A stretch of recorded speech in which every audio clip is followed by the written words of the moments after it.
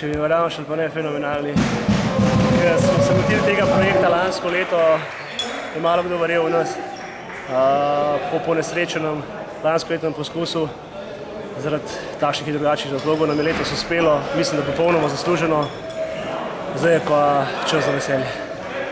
Kljub samo današnji začetek je bil tak slab za vas, tako ste dostali 2-0.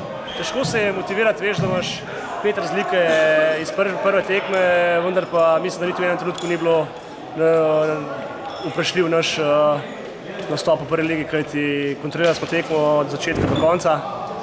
Uh, ko pa smo zdeli prvi gol, je bilo pa tekmo konča. Kako zdaj naprej, vemo, sledi Slavje. Seveda, zdaj je treba pač uh, zadržati jedro ekipe. Se pravi, se pravi, najprej se treba posloviti, pa se treba pa usesti z upravo, poštimati vse stvari, narediti plan z dvema igralcema. Uh, mislim, da smo lahko v vrtu prve lige.